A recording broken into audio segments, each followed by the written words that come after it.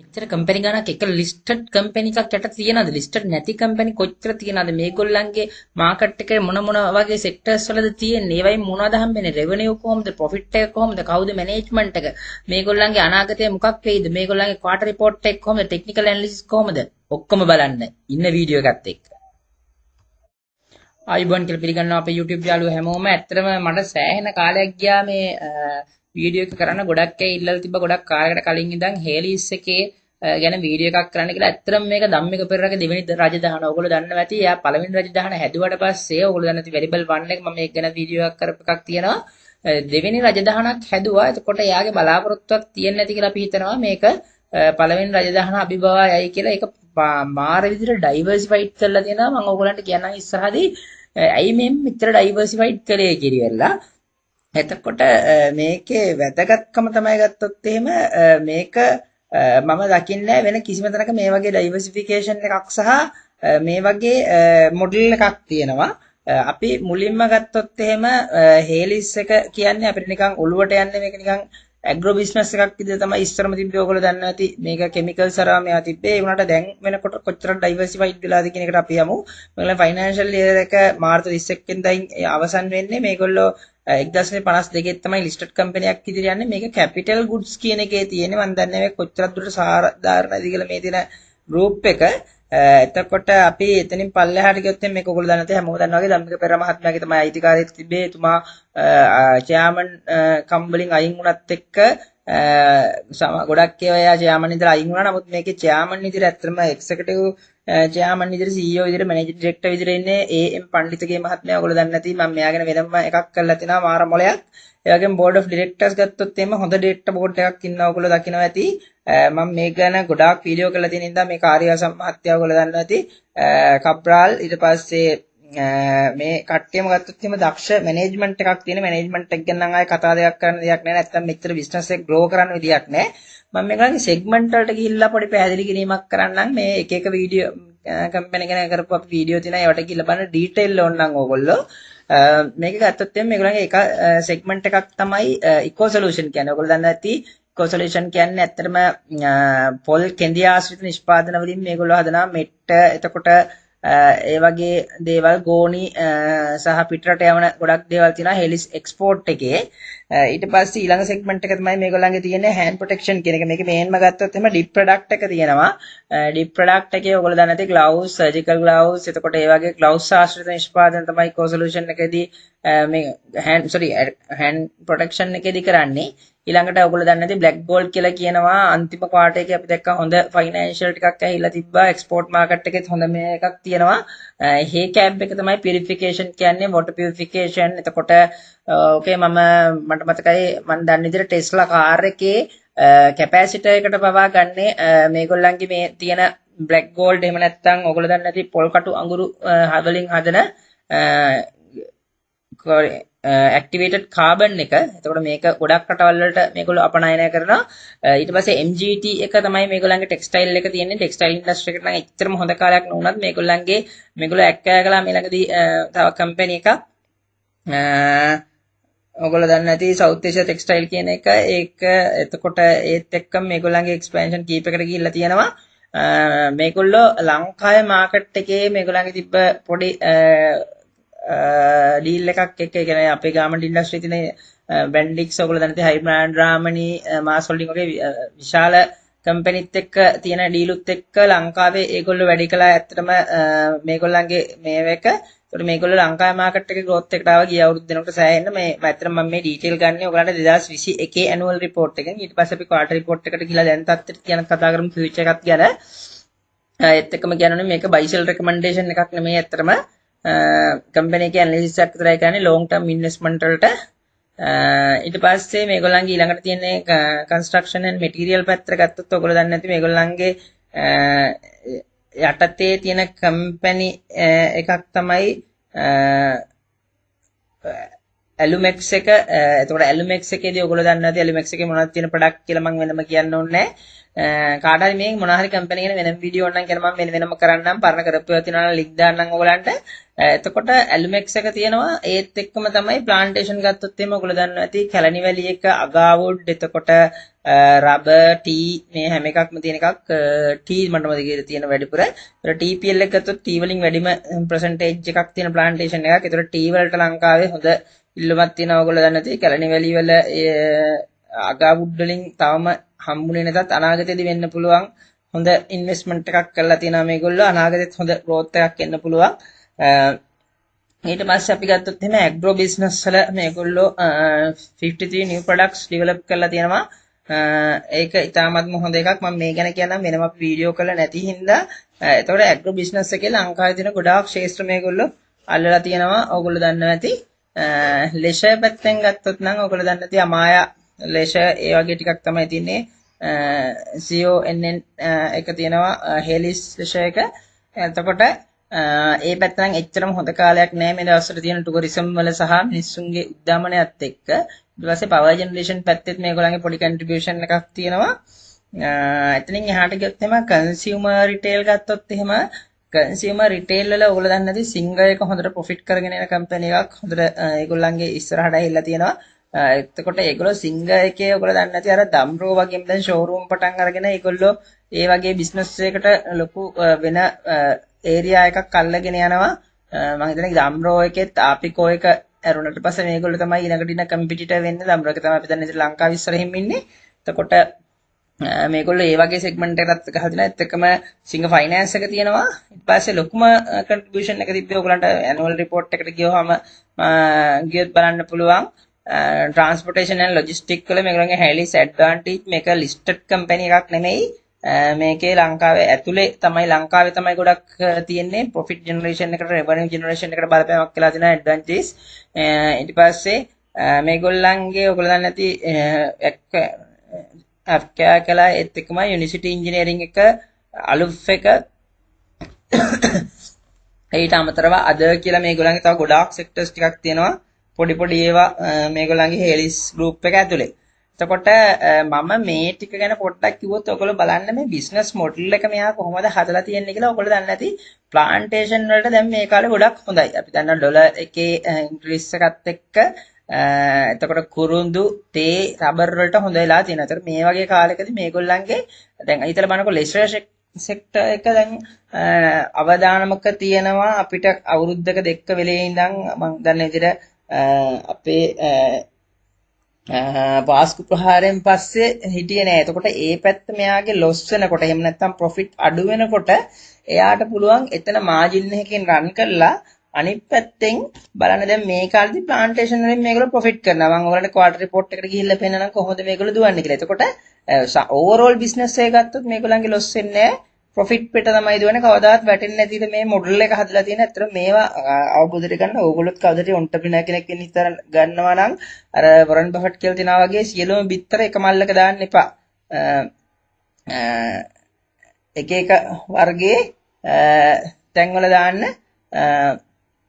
එතන ඊට පස්සේ ඕගොල්ලෝ කල්පනා කළොත් එහෙම මේගොල්ලන්ගේ අනිත් එක තමයි බලන්න දැන් අර අපි දන්නා කොවිඩ් වගේ කාලයකදී මේ ඇඩ්වැන්ටේජ් එක ට්‍රාන්ස්පෝර්ටේෂන් මේ පැත්තේ මිනිස්සුන්ට යන්න එන්න බැරි වුණා. ඒවත් එක්ක හොඳට මේවා කළා. හැබැයි දැන් එනකොට ඔයගොල්ලෝ දන්නේ නැති ෆුවල් ප්‍රයිස් ඒවත් එක්ක මේකට ඉම්පැක්ට් වෙලා පොඩ්ඩක් අඩු වෙන්න ගතියක් තියෙනවා ලොජිස්ටික් වලට. හැබැයි අපි ඉන්ඩස්ට්‍රි දුවනවා නම් ඉන්ඩස්ට්‍රි වලට ඒගොල්ලෝ ෆුවල් ප්‍රයිස් එක දැන් ඔයගොල්ලෝ දන්නේ නැති සමහර කම්පැනි ඒගොල්ලෝ වෙනම ඉම්පෝට් කරලා හරි ෆුවල් ගෙනහලා ඉවරලා දිව්වා ෆුවල් නැති කාලේ. එතකොට එතනින් වාසියක් වෙනවා. ඒත් එක්කම දැන් සිංගර් එක වගේ එකක් මේ දවස්වල අඩුයි. මිනිස්සු කන්සියුම් කරන අඩුයි. එතකොට ඒගොල්ලෝ බලනවා හැබැයි හයි අර්නින් මාකට් එකට යන්න ඒගොල්ලොත් එකම කොහොමද කරන්නේ කියලා කොච්චර ගත්තත් ඔයගොල්ලෝ දන්නේ නැති ගෙවල් වල අපි ශීතකරණ එතකොට සිංගර් ටීවී ඒ වගේ දේවල් මිනිස්සු පාවිච්චි කරන එක නැති වෙන්නේ අඩු වුණත්. එතකොට ඒ පැත්තේ මාකට් එකත් මේගොල්ලෝ අල්ලලා තියෙනවා.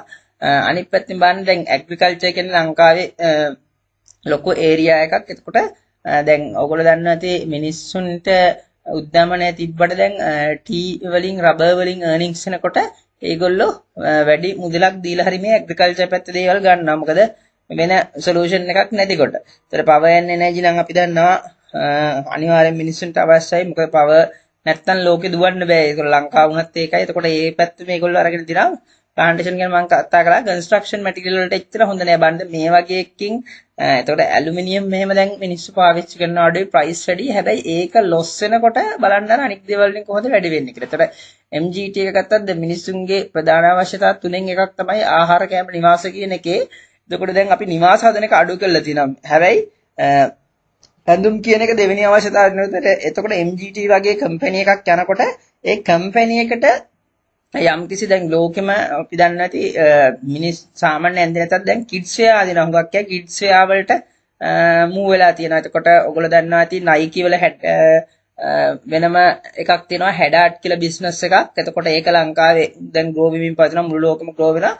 ළමයෙක්ට ඇඳුමක් අඳින්න දුන්නම ඒ ඇඳුම ළමයි ටික කාලයක් ඇඳින්න එක පාවිච්චි කළාම යනවා. හැබැයි ඒ වගේ ඒවට දෙන්න පුළුවන්. එතකොට ඒගොල්ලෝ ඒ පැත්ත අරන් තියනවා. ඒක මාජින් වලින් හරි ඒගොල්ලෝ රන් කරනවා. මොකද පස්සේ කාලෙක ෆැෂන් ඉන්ඩස්ට්‍රි එක මේ කාලේ අඩුනත් තව අවුරුද්දකින් දෙකකින් ග්‍රෝ වෙන්න පුළුවන්. ඒතකොට ඒගොල්ලන්ට ඒකේ ලොකු හැකියාවක් තියෙනවා ඉස්සරහට යන්න. ඒත් එක්කම බලන්න දැන් මේ හේර් කැබ් එක ගත්තොත් එහෙම දැන් මම ඔයගලන්ට කිව්වා කැපැසිටි වලට යූස් කරනවා කියලා. ඒ වගේ හයි මාකට් එකක් මේ ඔක්කොම මෙන්න මේ මම මේ පෙන්නලා තියෙන ටික ෆොරින් ඉන්කම් වෙන්නේ. ඒතකොට ලංකාවේ ඩොලර් එක උද්දමනය ආවොත් ලංකාව පැත්තේ ඇතුලේ බිස්නස් එක මේගොල්ලන්ගේ ලොස් වුණත් එළියෙන් මේගොල්ලන්ට ලොකු ප්‍රොෆිට් එකක් එනවා මේ ඩිප් ප්‍රොඩක්ට් එතකොට HXP වල එහෙම දැන් අඩුයි ඇත්තටම ලෝකේ මේ වගේලන්ට තියෙන කම්පිටිටර්ස්ලා අඩුයි. එතකොට හේ කැප් ගත්තත් ඒගොල්ලන් ඉන්න කම්පිටිටර්ස්ලා අඩුයි.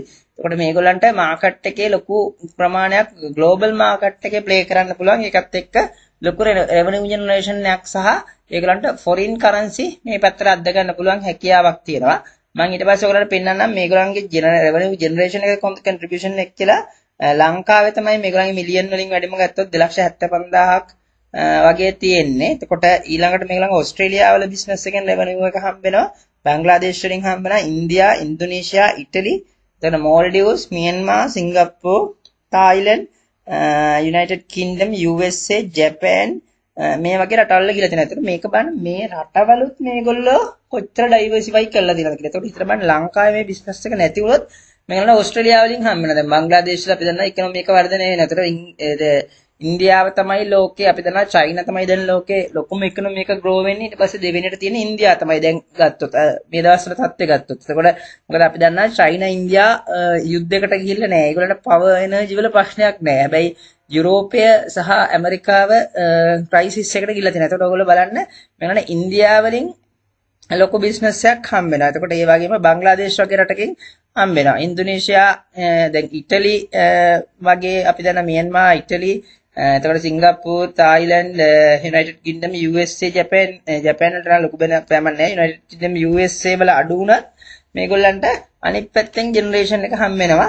Eh, ඊට අමතරව මේ බලන්න බ්‍රිටිෂ් වර්ජින අයිලන්ඩ් වලට ගිහිලා තියෙනවා මේගොල්ලෝ. එතකොට ඒ පැත්තෙන් ගත්තත් ලොකු ඩයිවර්සිෆිකේෂන් එකක් කරලා තමයි තියෙන්නේ මේගොල්ලන්ට රෙවෙනියු ජෙනරේෂන් එක ගත්තොත්. ඊට පස්සේ මේගොල්ලෝ බලන්න මම මේ දැක්ක ඇනුවල් රිපෝට් එකේදී ඇත්තටම මේගොල්ලෝ කොච්චර ෆියුචර් එක බලනවද කියලා මේගොල්ලෝ රිස්ක් ඇනලිසිස් එකක් කරලා තියෙනවා. සහ ඒවට සොලියුෂන් දීලා තියෙනවා මොනවද කියන රිස්ක් කියලා. මේගොල්ලෝ දැනට හයි රිස්ක් කියලා ඉරලා මම මේකෙන් 2021 ඇනුවල් රිපෝට් එකේදී හයිලයිට් කරගෙන තියෙනවා ඇග්‍රිකල්චර් සෙක්ටර් එකේ මොකද මේගොල්ලෝ කියලා තියෙන්නේ ෆර්ටිලයිසර් බෑන් කරපු එකත් එක්ක මේ ඉම්පෝට් කරන එක බෑන් කරපු එකත් එක්ක සහ කොස්ට් එක වැඩි වෙච්ච එක ඊට පස්සේ ඩොලර් එක වැඩි වීමත් එක්ක මේගොල්ලන්ට මේකට ලොකු ඉම්පැක්ට් එකක් කළා තියෙනවා. ඒගොල්ලෝ ඒකට බලනවායි කියලා ඉවරලා රිස්ක් එක මිටිගේට් කරන්නේ කොහොමද කියලා. ඊට කොට ඒගොල්ලන්ගේ potential risk of the order cancellation තියනවා කියන එක. ඊට පස්සේ consumer retail එකේදී මේගොල්ලන්ට මේන්ම බලපාලා දෙනවා foreign currency එක වැඩි වෙච්ච එක. ඒ වගේම import resistant එකත් එක්ක import resistant කරත් එක්ක ඒගොල්ලෝ මේගොල්ලන්ට manufacture කරන්න තියෙන භාණ්ඩ ගෙන්න ගන්න බැරිකම තියෙනවා. ඒත් එක්කම තමයි මේගොල්ලන්ගේ ෆුල් ප්‍රයිස් වැඩිුණත් එක්ක ඩිස්ට්‍රිබියුෂන් කරන ඔයගොල්ලෝ දැනති හුඟක් වෙලාවට ගත්තොත් එහෙම දැන් ඔය සිංහ වගේ බාණ්ඩ ලට්ටපුරාම ගෙනියන්න ඕනේ. මේ ෆැක්ටරි තියෙන්නේ එක තැනක දෙතැනක වගේ තමයි. එහෙම නැත්නම් ඇසෙම්බල් කරනවා ගෙනහලා ගෙනියන්න. ඒතකොට ෆුල් ප්‍රයිස් එක ලොකුවට බලපාන. ඒතකොට මේගොල්ලෝ ඒවට ඔප්ෂන් බලනවා කියන එක කියලා තියෙනවා. ඒ වගේම තමයි ලෙෂර් ගත්තොත් එහෙම ඉතින් ටුවරිසම් වල ලොකු ප්‍රශ්නයක් තියෙනවා. තාමත් ඒක විසඳලා නැහැ අපි. ඒත් එක්කම ඇතුලේ ඉන්න අපේ අයත් යනවා එනවා අඩුයි ෆුල් ප්‍රශ්නෙත් එක්ක හුඟක් ඊට පස්සේ ඉම්පෝර්ට් රෙසිස්ටන්ට් එක බලපාලා තිනවා ෆුඩ් පැත්තටත් එක්කම ඊට පස්සේ එනර්ජි කොස්ට් එක තමයි මේන්ම ගත්තොත් දැන් ඔයාලා දන්නේ නැති ළඟදී ලයිට් බිල වැඩි වෙච්ච එකත් මේකට ලොකු බලපෑමක් වෙයි මොකද මේගොල්ලන් රන් කරනකොට දැන් සාමාන්‍යයෙන් ලයිට් ලයිට් කැපුවොත් එහෙම ලයිට් නැති වුණොත් ඔයගොල්ලෝ දන්නේ නැති ඩීසල් වලින් දුවන්න ඕනේ. ඒකට ඒකට කොච්චර ගාණක් යනවද? ඒත් එක්කම ලයිට් තිබ්බත් ලයිට් බිල විදියට ලොකු ප්‍රමාණයක් ගෙවන්න වෙනවා ලයිට් බිලේ වැඩිවීම. මේක ලොකුවට බලපාන්න ඉඩ තියෙනවා ඉස්සරහට. ඊළඟට මේගොල්ලෝ ඉන්ඩස්ට්‍රියල් පවර් එනර්ජි කෙනා මේක ඇත්තටම ඔයගොල්ලෝ දකින්න ඇති මේගොල්ලන්ගේ කම්පැනි නොවුනත් ලිස්ටඩ් කම්පැනි වලත් අපි දැක්කා ෆයිනෑන්ෂල් රිපෝට් ගත්තොත් වැලිබල් පවර් රත්න ඒ වගේ කම්පැනිත් අඩු වුණා මේ මේන්ම බලපෑ ඇත්තටම ෆොරින් කරන්සි එක සහ මේගොල්ලන්ගේ ටැක්ස් ටැක්ස් එක තමයි ඇත්තටම මේන්ම බලපාලා තිබ්බේ එනර්ජි සෙක්ටර් එකටත් වෙච්ච ටැක්ස් එක. එතකොට ඒකත් එක්ක ලොකු බලපෑමක් කළා තිබ්බා. එතකොට මේගොල්ලන්ගේ තියෙන මේ එනර්ජි සෙක්ටර්ස් වලටත් ඉන්ඩස්ට්‍රියල් ඉන්පුට්ස් වලටත් පවර් ජෙනරේෂන් වලටත් මේක තමයි බලපාන්නේ. හැබැයි මේගොල්ලෝ මේ රිස්ක් එක කලින්ම ගිය අවුරුද්දේ තමයි අයිඩෙන්ටිෆයි කරගෙන තියෙන අතර ඒකට මේගොල්ලෝ ප්‍රිවෙන්ටිව් ඇක්ෂන් ගනි සහ අරන් තියනවා. ඒවා ඉතින් සමහර අය මේගොල්ලෝ කියන්නේ නැතුව බිස්නස් එකක් කරන හින්දා වෙන ඈත් එක්ක තරංගයක් තියෙන. ඒතර ඒක මේ මම දැක්කා ඇත්තට මේ ඇනුවල් රිපෝට් එකේ තියෙන හොඳ ලක්ෂණයක් ඒ දේවල් හඳුනගෙන තියෙන එක. ඊට පස්සේ ඇත්තටම ගොඩක් අඩු ඇනුවල් රිපෝට් වල තියෙනවා මේගොල්ලෝ ඉකොනොමික් growth එක බලලා තියෙනවා. ඇත්තට මේගොල්ලන්ගේ එක මාකට් එකක් තමයි මේ Maldives බලන්න Maldives වල ගිය අවුරුද්දේ ගත්තොත් එහෙම 118ක ඉකොනොමික් growth එකක් තියෙනවා. ඒතකොට මේක ලංකාව ළඟම රටක් හින්දා මේගොල්ලෝ බලනවා එතෙන්ට මේගොල්ලන්ගේ මේ බිස්නස් ගෙනියන්න. ඒතකොට ඒක හොඳ ඇනලිසිස් එකක් විදිහට මම දකිනවා. එතකම බලන්න ඉන්දියාවල 8.9ක් තියෙනවා. එතකොට ලංකාව ළඟම තියෙනවා මේගොල්ලෝ එතන ફોකස් කරයි. එතකොට ඒ වගේ හොඳ ඩීටේල් ගිහිල්ලා මේගොල්ලෝ ඒ කියන්නේ ෆැක්ට්ස් ඇන්ඩ් ෆිගර්ස් අනුව බිස්නස් කරන බාත් වෙනවා ගට් ෆීලිං එකෙන් නැතුව. ඒත් එක යුනයිටඩ් කින්ඩම් එක දැන් මේ දවස්වල නම් ඒගොල්ලන්ගේ උද්දමනයත් එක මේ අවුරුද්දේ අඩු වෙයි. නමුත් කලින් අවුරුද්දේ UK USA ජපාන් ගත්තොත් එහෙම ජපාන් වල නම් අඩුයි ඇත්තට වික්‍රමික ග්‍රෝත් එක. අනික් අය මේ පැත්තත් බලලා මේ පැත්තට යොදන බවක් පේනවා. එතකොට ලංකාවේ GDP එක අඩුයි අපි දන්නවා. per capita income එක කලින් 3600ක් වගේ තිබ්බ දැන් එනකොට නම් ඔක 2500කට විතර අඩු වෙලා ඇති. ඊට පස්සේ මේගොල්ලන්ගේ 10 year summary එක ගත්තොත් මේක තමයි ඉතාම වැදගත් වෙන්නේ. මොකද ඉතිහාසයක් නැති දෙයක් අනාගතේ වටින් වැදගත් වෙන්නේ අවුරුදු 50ක විතර ඉතිහාසයක් තියෙනවා මේකෙන් කම්පැනි එකට. එතකොට මේකේ බලන්න රෙවෙනියු එක නම් හැම අවසාන අවුරුදු 10 ගත්තොත් හැම අවුරුද්දකම වර්ධනයක් වෙලා මිසක් අඩු වෙලා නැහැ. ඒක ඉතාම හොඳ ලක්ෂණයක් රෙවෙනියු එක වර්ධනය වෙන එක. ඊට පස්සේ profit after tax එක ගත්තත් ඔයගලන්ට පේනවා ඇති කිසිම අවුරුද්දක් මේකලගේ loss එකක් විදිහට පෙන්නන්නේ නැහැ. past 10 years ගත්තොත් හැම අවුරුද්දකම මෙන්න මේ එක 2016 17 අවුරුද්දේ පොඩි profit එක අඩු වෙලා තියෙනවා. ඊට පස්සේ 18 අවුරුද්දේ අඩු වෙලා තියෙනවා. 19 අඩු වෙලා තියෙනවා. ඊට පස්සේ බලන්න ඔයගොල්ලෝ 20 සහ 21 ගත්තොත් අතිවිශාල වර්ධනයක් වෙලා තියෙනවා 100ට ඒ කියන්නේ profit after tax එක ලොකු ප්‍රමාණයකින් වැඩි වෙලා තියෙනවා. 2020 සහ 21 දී ගත්තොත් ඒත් එක්ක 21 22 බාන්න ඊටත් වඩා දෙගුණයක් විතර වෙලා තියෙනවා. ඒ අවුරුද්දේදී තියෙන අවසාන අවුරුදු තුන ගත්තොත් ලොකු growth එකකට ගිහිල්ලා තියෙනවා. 133ක growth එකක් තියෙනවා. last time ඒ වලට කම්පෙයාර් කළාම මේගොල්ලන්ගේ last year එකේ වර්ධනය. ඒක ඉතාම හොඳ තත්ත්වයක්. ෆයිනෑන්ෂල් පැත්තෙන් ගත්තොත් එහෙම අපි තව මේගොල්ලන්ගේ ගිහිල්ලා බැලුවොත් එහෙම බලන්න මේගොල්ලන්ගේ earning per share එක මම මේ eh, බේසික් එක විතරක් ගන්නම් earning per share එකත් උඩ ඔයගොල්ලෝ ගන්න ති profit එකටම සමානයි. එතකොට earning per share එක මේ වෙනකොට දිගටම වැඩි වෙලා earning per share එක රුපියල් 24ක වගේ තමයි තියෙන්නේ. මම මේකේ ඔයගොල්ලන්ට ඇනලිසිස් එකට කාඩ් රිපෝට් එකෙදිත් පෙන්නනම් කාට් එකේ කොහොමද වෙලා තියෙන්නේ කියලා මේ ගිය ඇනුවල් රිපෝට් එකක තියෙන. ඒතකොට ඩිවිඩන්ඩ් per share එක eh, දිග පහුගිය අවුරුදු දෙකේදීම වැඩි කරලා තියෙනවා. ඒත් එක තමයි net asset එක ඔයගොල්ලන්ට පේනවා ඇති. අර assets වැඩි වෙනවත් එක්ක දිගටම වැඩිලා රුපියල් 76ක වගේ තමයි මේකේ net asset එක තියෙන. අපි බලමු මේ ක්වාටර් එකේදී අවසානකොට කීයද තියෙන්නේ කියලා. ඒ වගේම PE ratio එක ඔයගොල්ලන්ට පේන ඇති කලින් හුඟක් වැඩි ratio එකක් තිබිලා තියෙනවා 47 තිබිලා තියෙනවා 24 5 දැන් වෙනකොට මේ අවුරුද්ද වෙනකොට රුපියල් 100 ඒ කියන්නේ ratio එකක් විතර තුනකට විතර හිල්ලා තියෙනවා PE ratio එක. එතකොට PE ratio එක හැදෙන්න ඔයගොල්ලෝ දන්නේ නැති price එක බෙදීම earning එක. ඒ කියන්නේ දැන් market price එක රුපියල් 60ක යනවා නම් රුපියල් 20ක් නම් එතකොට 60 20ෙන් බෙදවම 3ක් වගේ තමයි එන්නේ. මේ වගේ ගානක තමයි යන්නේ. ඩිවිඩන්ඩ් පේ අවුට් රේෂියෝ එකත් මේගොල්ලන්ගේ වැඩි කරලා තියෙනවා. ඒක හොඳ ලක්ෂණයක්. අපි දන්නවා earning වැඩි වෙනවත් එක්ක පේ අවුට් එක වැඩි වෙනක 116ක විතර තියෙනවා. ඒක ඉතින් තව වැඩි වෙයි කියලා අපිට හිතන්න පුළුවන් මේගොල්ලන් grow වෙනවත් එක්ක. මොකද මේ grow වෙනවත් එක්ක මේගොල්ලෝ හොඳට ඩිවිඩන්ඩ් එක වැඩි කරලා තියෙනවා. එතනින් පස්සේ අපි ක්වාටර් රිපෝට් එකට යන්නේ මේ මම මේ කතා කරන්නේ තර්ඩ් ක්වාටර් එක මේගොල්ලන්ගේ කියන්නේ දෙසැම්බර් 31 කින් ඉවරෙච්ච ක්වාටර් එකේදී 2021 2022 දෙසැම්බර් 21 ක්වාටර් එක මේක තමයි වඩා වඩාත්ම වැදගත් වෙන්නේ අපිට ඇනලිසිස් එකක් විදිහට බලනකොට දාන මේගොල්ලන්ගේ රෙවනිව් ජෙනරේෂන් එක ලාස්ට් 9 month ගත්තොත් එහෙම 153ක වර්ධනයක් වෙන්නවා. හැබැයි ලාස්ට් 3 month වල 126ක වර්ධනයක් තමයි පෙන්වන්නේ. ඒතකොට රෙවනිව් එක පැත්තෙන් තියෙනවා. එතකොට මේගොල්ලන්ගේ ප්‍රශ්නයක් නෙමෙයි තියෙන රටේ ප්‍රශ්නයක් ඉන්න තමයි ප්‍රොෆිට් එකේදී බලපෑම් වෙලා තියෙන කියලා වඩා මේ ෆයිනෑන්ෂල් රිපෝට් එක දිගටම ගිහිල්ලා බැලුවොත් හොඳට තේරෙයි. මේක ෆයිනෑන්ෂල් එක මම හොඳටම කියලා දෙන්නම්. ඔයගලන්ට දිගට ගිහිල්ලා ග්‍රොස් ප්‍රොෆිට් එක ඔයගොල්ලෝ බලන්න. මේගොල්ලන්ගේ 133ක් තියෙනවා කාට එකේ 10 9 month එකේ 63ක් තියෙනවා. ඊට පස්සේ මේගොල්ලන් මෙන්න මේ ලොකුම ඉම්පැක්ට් එකලා තියෙන ඩිස්ට්‍රිබියුෂන් එක්ස්පෙන්සස් වල සෑහෙන වැඩිවීමක් වෙලා තියෙනවා. එතකොට ඔයගොල්ලන් පේනවා ඇති ඇඩ්මිනිස්ට්‍රේෂන් වැඩි වෙලා තියෙනවා. එතකොට අද එක්ස්පෙන්සස් වැඩිලා තියෙනවා. මේවා ඇත්තට මේ උද්දමනය සහ ටැක්ස් හින්දා බලපාපු දේවල් තමයි තියෙන ෆයිනෑන්ෂල් කොස්ට් එකත් ලොකු ගාණකින් වැඩිලා තියෙනවා. ඒතර ඒවයි ඉම්පැක්ට් එකකින් තමයි මේගොල්ලන්ගේ ප්‍රොෆිට් එකට බලපෑම් වෙලා තියෙන්නේ. එතකොට ඔයගොල්ලන්ට පේනවා ඇති මේගොල්ලන්ගේ profit uh, for the period ගත්තොත් එම 9 month period එකේ 66ක් විදිහට තමයි පෙන්වන්නේ. හැබැයි 3 month period එකේදී කලින් කාඩකට සාපේක්ෂව 88ක අඩුවීමක් තියෙනවා. හැබැයි කලින් අවුරුද්ද ඉතාලම හොඳ අවුරුද්දක් ඉඳලා තමයි මේක බලපාලා තියෙන්නේ ඒ කාඩකට සාපේක්ෂව. එතකොට මේගොල්ලන්ගේ 9 month period එකේ ගත්තොත් එහෙම මිලියන 24ක් වගේ තිබිලා තියෙනවා. ඒක ඊට කලින් අවුරුද්දේ මිලියන 14ක් තිබිලා තියෙන්නේ. එතකොට 3 month period එකේ profit එක ගත්තොත් එහෙම ගිය අවුරුද්දේ මිලියන 6ක් තිබ්බ එක මේ සැරේ ලක්ෂ 8කට වගේ අඩු වෙලා තියෙනවා. ඒක තමයි ඉම්පැක්ට් එක තියෙන්නේ earning per share එක 12ක් විදිහට පෙන්නන්නේ. එතකොට සම්පූර්ණම ගත්තොත් මේනකොට earning per share එක අවුරුද්දේ 124කට වගේ තමයි මේගොල්ලන්ගේ එහි කියලා කියන්නේ. එතකොට ඒකේ earnings වල අඩුවීමක් වෙලා තියෙනවා. අපි ඉන්ඩස්ට්‍රියල් සෙග්මන්ට් රෙවෙනියු එකට ගියොත් එහෙම ඕගොල්ලන්ට පේනවා ඇති මේකේ කොහොමද වෙලා තියෙන්නේ කියලා ඉකෝ සොලියුෂන් මම මේ හරි දාලා තියෙන්නේ බලන්න. මේ හැම එකක්ම මේගොල්ලන්ගේ රෙවෙනියු ග්‍රෝත් එකක් තියෙනවා. ඒතකොට රෙවෙනියු එක අඩු වෙලා තියෙන්නේ කන්සියුමර් රිටේල් කියන එකේ විතරයි. ගිය අවුරුද්දට සාපේක්ෂව 9 month period එක තමයි මම මේ අරගෙන තියෙන්නේ. එතනත් අපි ග්‍රෝත් එක පැත්තෙන් ගත්තොත් එහෙම ඕගොල්ලන්ට පේනවා ඇති අපේ කම්පැරිසන් එකක් එක්ක ගත්තොත් ලොකුම වැඩිවීම තියෙන්නේ මොනවද කියලා බලමු. පියුරිෆිකේෂන් පැත්ත ඒ කියන්නේ අපි දන්නවා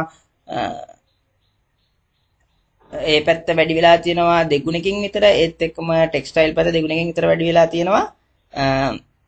ඒතර ඇග්‍රෝ බිස්නස් එකේ ලොකු වර්ධනයක් නැහැ. ආයි අපිට ලොකු වර්ධනයක් විදිහට පෙන්නනවා. මේ ට්‍රාන්ස්පෝර්ටේෂන් ලොජිස්ටික් එතකොට හෙලිස් ඇඩ්වාන්ටේජ් එකේ වර්ධනයක් වෙනවා ලොකුවටම. එතන මේජර් ඔය තුනේ තමයි ඉම්පැක්ට් එක වෙලා තියෙන රෙවෙනියු ග්‍රෝත් එකට. ඒත් එක්කම ඔයගොල්ලෝ බලන්න මේ ලෙෂර් පැත්තේ ගිය අවුරුද්දට සාපේක්ෂව ඒ කියන්නේ 2021කට සාපේක්ෂව 22 දී වර්ධනයකට ඇහිලා තියෙන හතර ගුණයකින් විතර. එතකොට ඔන්න ඔය ටික තමයි රෙවෙනියු ඉම්පැක්ට් එක. එතකොට අපි ආයි ප්‍රොෆිට් එකට ගියොත් එහෙම ප්‍රොෆිට් එක ඊට වඩා වෙනස් වෙනවා. ඔයගොල්ලන්ට පේනවා ඇති පියුරිෆිකේෂන් වල ලොකු ඉම්පැක්ට් එකක් නෑ ප්‍රොෆිට් එකට. හැබැයි ඉකෝ සොලියුෂන් වලට ඒ කියන්නේ අපි දන්නවා ඔයගලගේ හෑන්ඩ් ප්‍රොටෙක්ෂන් වලට මම හිතන්නේ කොවිඩ් ඉම්පැක්ට් එකක් ගිය අවුරුද්ද වෙනකන් තිබ්බ හින්දා ඒකේ බලපෑමක් වෙන්නේ නැති. ඒකේ ලොකු වර්ධනයක් වුණා. ඒත් එක්කම ඉකෝ සොලියුෂන් ඒත් එක්කම හෑන්ඩ් ප්‍රොටෙක්ෂන් නැහැ කොට පියුරිෆිකේෂන් වල ඔයගලට පේනවා ඇති. අපේ තමයි ප්‍රොෆිට් පැත්තේ ලොකු ජෙනරේෂන් එකක් තියෙන්නේ. එතකොට ඊටත් වඩා ලොකුම තියෙන්නේ එලි ඇඩ්වාන්ටේජ් එකේ තමයි ඔයගලන්ට පේන ඇති ලොකුම ඉම්පැක්ට් එක ඇහිලා තියෙන්නේ ඒගොල්ලන්ගේ ප්‍රොෆිට් ජෙනරේෂන් එක. ගත්තොත් එහෙම. ඊට පස්සේ ඉන්ඩස්ට්‍රියල් මේකෙන් ලොස් එකක් විදිහට ඇත්තටම ලෙෂ තමයි ඉතින් ලොස් එකක් විදිහට යන්නේ. ඒතර එකම ලොස් මේකින් සෙග්මන්ට් එක විදිහට ලෙෂ සෙග්මන්ට් එක තමයි යන්නේ ප්‍රොෆිට් එක පැත්තෙන් ගත්තොත් එහෙම. එතකොට ප්‍රොෆිට් එක අපි මේ ටික කතා කළා අපි යමු ඊළඟට මම මේ ඩීටේල් යන්නේ නැහැ මේගොල්ලෝ ඇත්තට මේ ගත්තු දේවල් තියෙනවා. මේගොල්ලන්ගේ ෆයිනෑන්ෂල් ස්ටේට්මන්ට් එකේදී ඉන්ට්‍රස්ට් රේට් එක වැඩි වෙනකොට මොනවද කරන්නේ? එතකොට මේ තියෙන උද්දමනට මොනවද කරන්නේ? රුපියල් ඩිප්‍රීසියේෂන් එක කරන්නේ මොනවද කියලා. ඒ හැම පැත්තටම හොඳට ඇනලිසිස් කරලා තියෙන හොඳ රිපෝට් එකක් ඇත්තටම මේගොල්ලන්ගේ ගත්තොත් එහෙම 130ට විතර ගිහිල්ලා තියෙනවා. දැන් රුපියල් 68කට වගේ තමයි මම උන්ට යන්නේ. එතකොට මේගොල්ලන්ගේ ඩෙබිට් ටු ඉක්විටි රේෂියෝ එක මේ වෙනකොට 1.4ක වගේ තමයි තියෙන්නේ. PE රේෂියෝ එකත් රුපියල් 3කට වගේ තමයි තියෙන්නේ. මෙන් top 20 shareholders ගත්තොත් ධම්මික පෙරේරා 51ක් තියෙනවා. ඒ වගේම තමයි SJ ජයසුන්දර ට්‍රස්ට් කියන කම්පැනි එකට තමයි ඊළඟට 11ක් තියෙන්නේ. ගත්තොත් එimhe top 20 shareholders වලට 75ක් තියෙනවා. Public holding එක 37ක් විදිහට තමයි තියෙන්නේ අපි අවසාන වශයෙන් technical analysis එකට යමු ටෙක්නිකල් ඇනලිසිස් එකේ නම් පොඩි හෝල් ගතියක් තමයි පෙන්වන්නේ. ඔයගලන්ට පේන ඇති මෙතන MA cross එකක් ඇදලා තියෙනවා. buy එකක්. හැබැයි ඒක strong buy එකක් නෙමෙයි. සෙල් එකකුත් ඇදලා තියෙනවා. මේ ළඟම ඔයගලන්ට පේනවා ඇති. bowling the band width එක ගත්තොත් නම් සෙල් සිග්නල් එකක් පෙන්වන්නේ width එක අඩු වෙගෙන යනවා. එතකොට RSI එක නිකන් හෝල් ගතියක් තියෙන අඩු වැඩි වෙන මැද හරිය වගේ ගතියක්.